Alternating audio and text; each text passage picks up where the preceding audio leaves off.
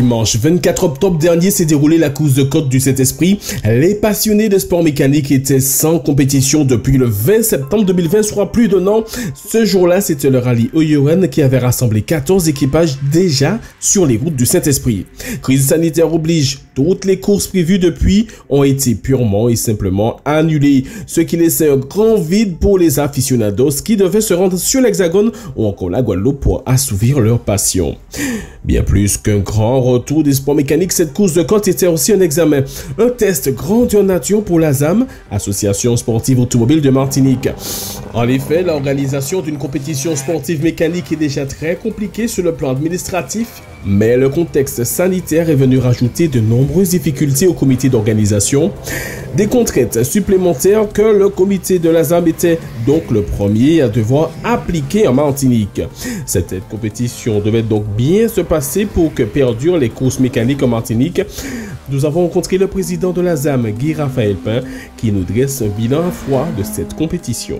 Alors pour moi, et pour le comité, c'est un bilan positif parce que on avait euh, l'obligation de mettre un protocole très strict en place, euh, ce qui a été fait a été validé par la sous-préfecture et la DRAGES. Donc euh, en plus, on n'avait pas fait trop de publicité et il y avait quand même un public assez important. Donc et unanimement, tous les pilotes qui ont participé sont ravis. Ils demandent déjà une autre manifestation. Alors justement, quels ont été les, principaux freins, les principales difficultés à la réalisation de cet événement? D'abord, il fallait mettre euh, le protocole sanitaire en place, ce qui a été demandé euh, par les autorités.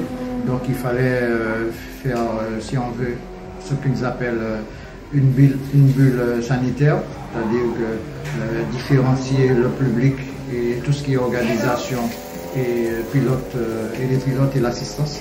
Donc ce qu'on a fait et on a validé et pour respecter ce protocole et, reconnaître euh, les intervenants, donc on était obligé de les fournir des bracelets pour pouvoir euh, reconnaître rapidement euh, sans trop de difficulté les gens qui ont fourni le pass sanitaire. Par rapport aux pilotes et au monde d'organisation, comment, comment ils ont accueilli cette, cette nouvelle et cette pratique?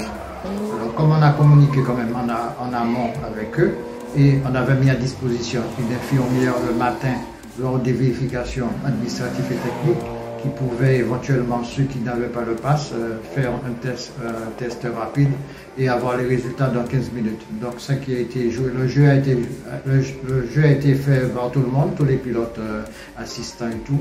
Donc on n'a pas eu trop de difficultés à, mettre ça en place. Et tout le monde, vous avez une majorité de, de négatifs, il n'y a pas eu de positifs? Non, il n'y en a pas eu n'a pas eu de positif, ça, s'est bien. Sur le plan sportif, le faible nombre d'engagés a été compensé par la présence des pilotes des catégories VHC et VHRS, comprenez véhicules historiques de compétition et véhicules historiques de régularité sportive, ce qui n'a pas empêché le spectacle et fait le bonheur du public venu en masse malgré la faible communication du comité. Du côté des véhicules modernes, à la surprise générale, c'est Gérard Denyona sur sa Peugeot 106 montée par ses soins qui s'impose lors de sa toute première course.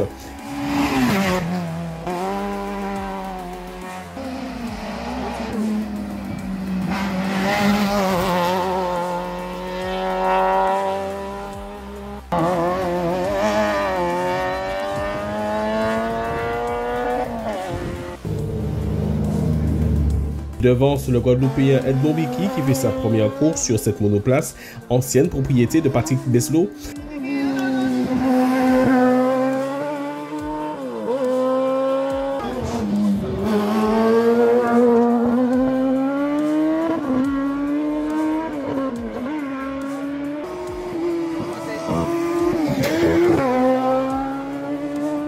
Le podium est complété par un spiritain. Willy Fago était au volant de la Clio d'Anthony Kossou.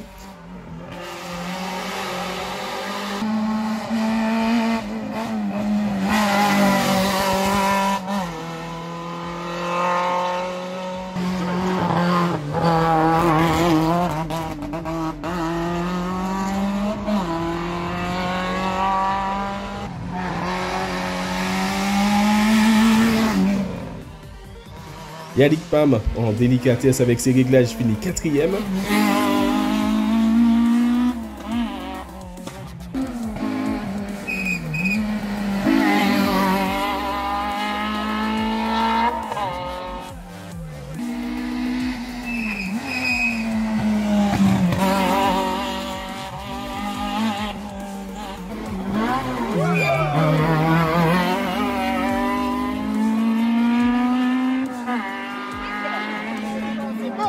Juste devant Steve Bellon qui n'a pu faire qu'une seule montée de classement avant de tomber en panne.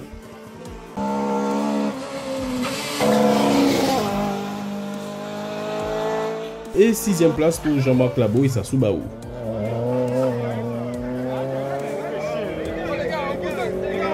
Les frères Osman, Steven et Karim, en panne de bougies, n'ont pu faire une montée de classement. Ils ne sont pas classés.